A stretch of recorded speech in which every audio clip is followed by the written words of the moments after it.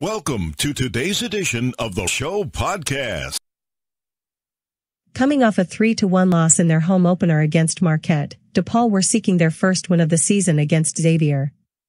Xavier held a 15-2 record against DePaul heading into the game, the last time DePaul beat the Musketeers was a 1-0 win back in 2018. The wait is over as DePaul battled from behind to earn a 3-2 win in overtime. An upset seemed to be in the cards midway through the first half as freshman forward Marek Gonda scored his first goal of the season, putting DePaul on top in the 33rd minute.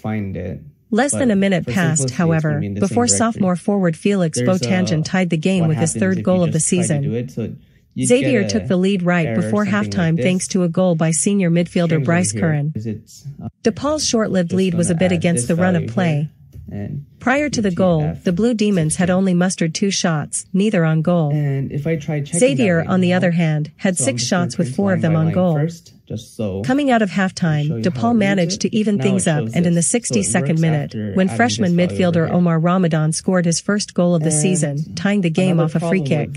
Um, the second half was a bit more physical with a series of fouls disrupting the game on a number of occasions. Uh, Neither team did any more um, damage in the last 28 minutes, so it went so into overtime. If I try to it was an overtime where the Blue Demons would uh, get their winning goal courtesy of freshman midfielder Jacob Huth in the 107th minute.